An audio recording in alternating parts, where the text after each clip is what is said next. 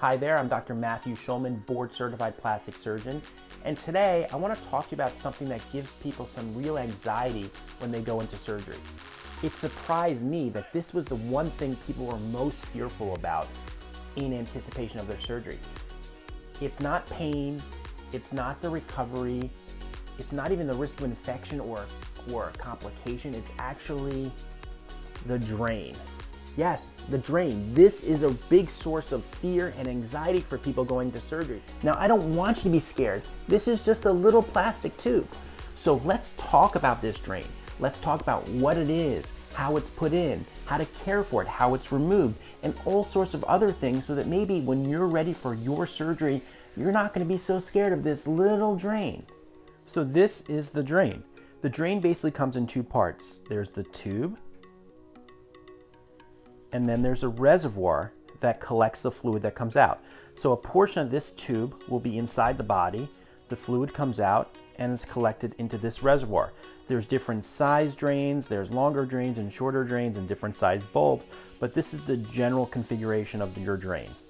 So now that you've seen the drain close up, let's take a closer look at the reservoir or the bulb, because this is the important part. This is the part that collects the fluid that is gonna be taken out of your body. So how does it work? It basically works by suction, but it's not hooked up to a machine or a wall or anything like that. It suctions on its, its own. And the way it does that is you give it a squeeze, you close the top, and this bulb, see how it's collapsed? That means it's actually generating its own suction, which will then take the liquid out of the body and it'll fill up in this bulb. The bulb is really special because it's almost like a measuring cup. If you look closely, there's actually numbers on the side of the bulb so that when there's liquid in here, you can hold it up and you can see 25, 50, 75, 100. That way you can record how much liquid is in that bulb. You're gonna to want to keep a good record of how much fluid is in that bulb because we're gonna look at that number to help determine when your drain is ready to be removed to help you record the output, your doctor will probably give you something like this. This is the drain log that I give to my patients. It just gives you an easy way to record the day, the time, and how much fluid is getting collected in your drain. I give these to my patients, but these are easily found on the internet. Now remember, the whole point of the drain is to collect fluid.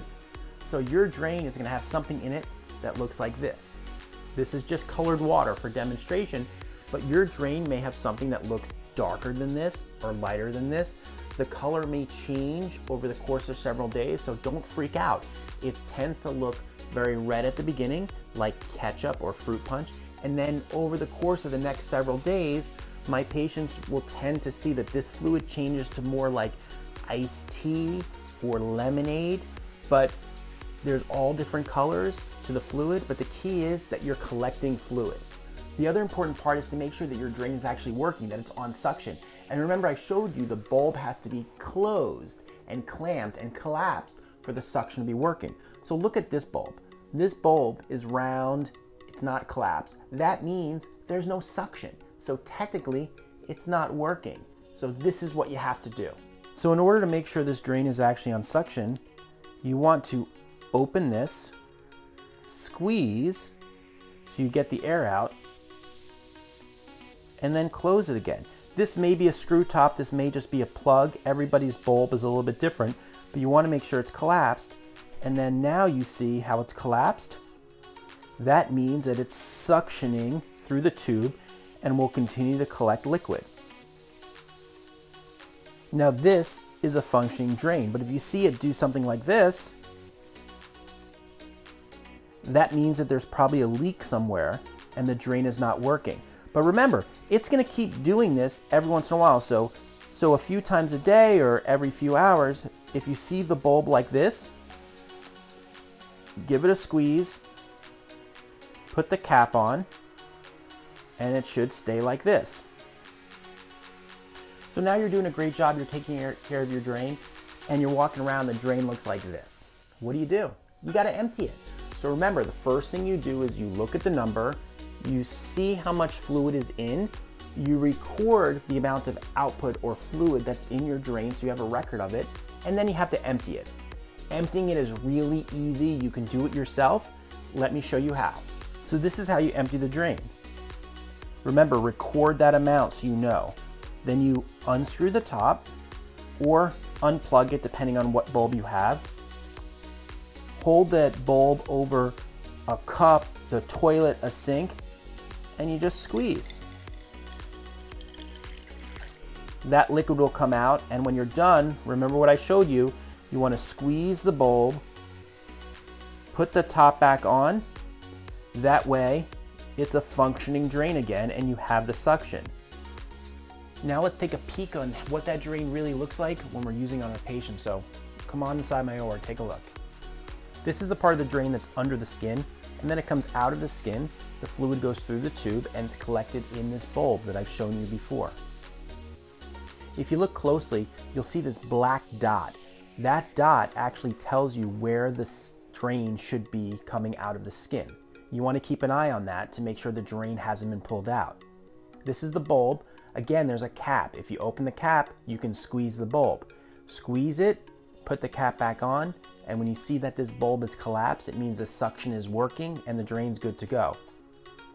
If I release the cap and let that bulb expand and fill with air, you'll see that this is really not working. There's no suction. The bulb also has a nice clip. This clip allows you to hold the drain on your garment, on your clothes. That way the drain's just not hanging on the ground.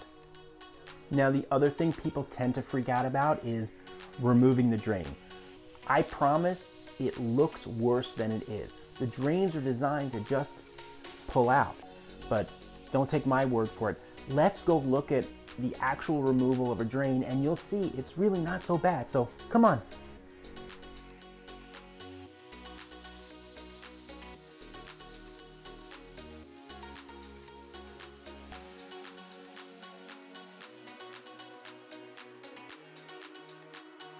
So as you can see, taking care of a drain is really easy. You just want to make sure that you always have that bulb on suction, which means it's collapsed. You always want to record how much fluid is coming out.